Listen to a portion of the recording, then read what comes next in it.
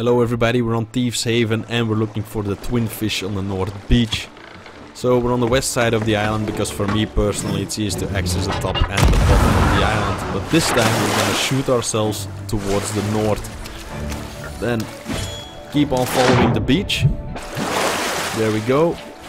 When the beach ends right here, you will need to go up.